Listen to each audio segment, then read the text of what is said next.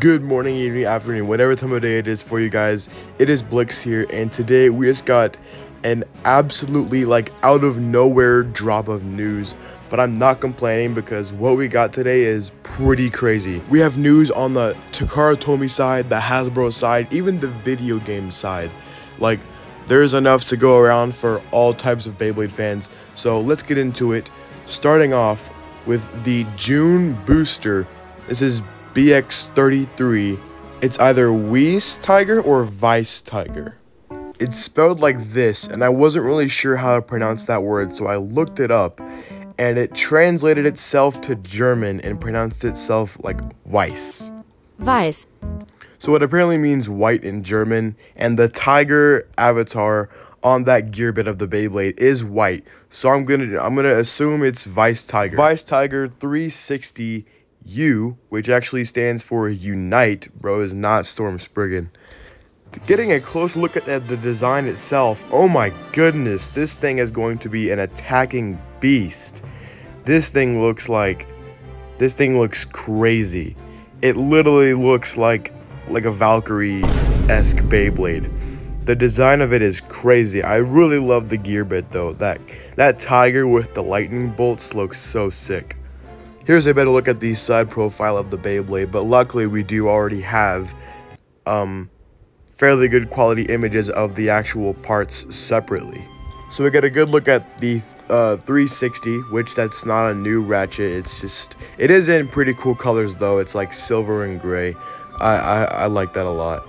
And then the Unite bit. This bit looks like if Ball and Point had a baby. Um, it looks like it has a lot of potential. I feel like it could be really good for competitive attack combos. We'll have to wait and see. Um, but yeah, that's about it for Vice Tiger. Now we're going to move on to the Hasbro news that we got today, which is pretty crazy.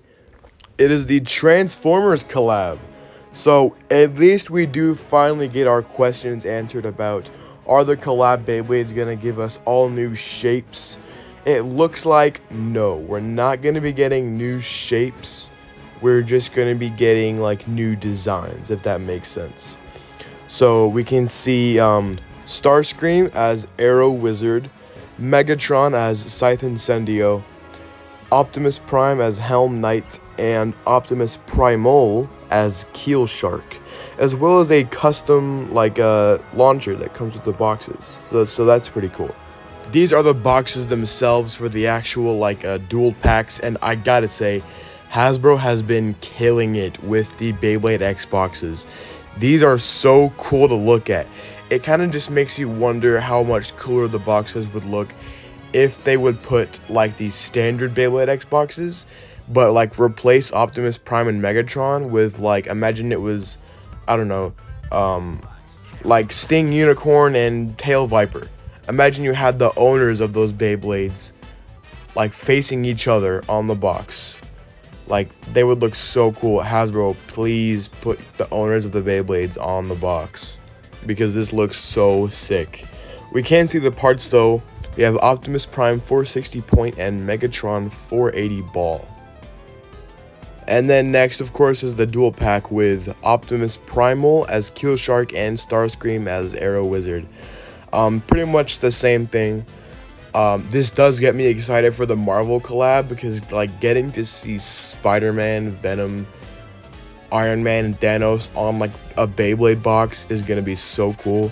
I hope that they use like cool renders of the characters to put on the box. Um, so yeah, and then moving on from that, there's even more because we got news about the Beyblade X video game. It comes out this winter on the Nintendo Switch. Presumably, I would assume it will be on the Nintendo Switch 2 because that should be out by time this game comes out. But yeah, I think it's called Beyblade X1, Beyblade X X1. I don't know, but it's basically the same thing as Beyblade Burst Zero. That was the Beyblade game that released during the Burst generation, during the Cho-Z season. Um, so yeah, you're going to be able to play Beyblades on your Nintendo Switch again, but with updated bays. Um, and I hope that they put more effort into the game than Burst Zero because I would just like the Beyblade X game to be like, you know, something that I get on my Switch to play because I'm looking forward to playing it, not just like because I have to make content, you know. Um, but yeah, I will definitely try to um, make some videos on this when this game comes out because I do have a Nintendo Switch. So look forward to that. But on top of that, it looks like you get a Beyblade from purchasing this game. I'm assuming it's going to be like Burst Zero where you can choose to buy the starter pack that comes with the Bay or just the game separately. I'm not sure what to think of the actual Bay that they're giving you though because it looks like Knife Shinobi but with a blue coat of paint. I'm not quite sure what that's going to be, but I am going to be interested to see what the gear bit of it is. But uh, yeah, that's about all the news that we got today. A shitload of news. Let me know what you guys are the most excited about out of all three things that we got shown today.